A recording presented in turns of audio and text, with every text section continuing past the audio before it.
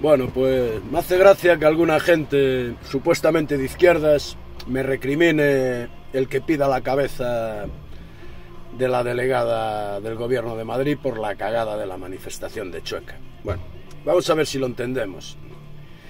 A ver si nos empezamos a comportar como adultos funcionales, ¿vale? Cuando un político la caga, ¿eh? cuando un político la caga, Da exactamente igual que sea de izquierdas, de derechas, del partido al que votas, del partido al que no votas. No, hay que decirlo, punto. Da lo mismo, da exactamente igual. A ver si empezamos a entender las cosas. O sea, no se puede ser de un partido político como se es de un equipo de fútbol.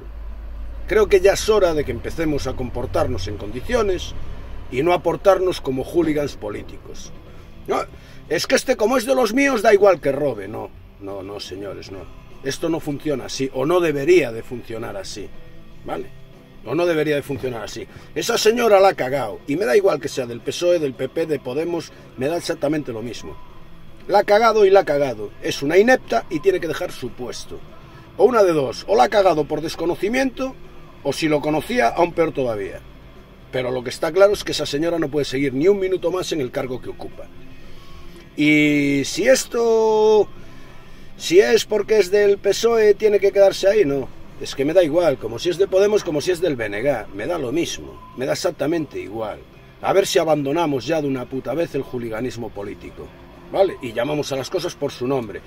Eh, los señores del PSOE robaron en Andalucía, los señores del BNG hace años aquí en Vigo dejaron el gobierno municipal en manos de la señora Corina Porro, eh, los señores del PP han robado todo lo que han querido y más, y hay que decirlo, y da igual que sean de los nuestros o que sean de los otros, porque por ejemplo para mí la compra del chalet por parte de Pablo Iglesias para mí es una cagada. Punto. No estoy diciendo que sea ilegal o no sea ilegal, para mí es una cagada. Y políticamente es una cagada. Y se ha demostrado con el tiempo que ha sido una cagada. Pues hay que decirlo, cuando alguien la caga, la caga, punto, no hay más.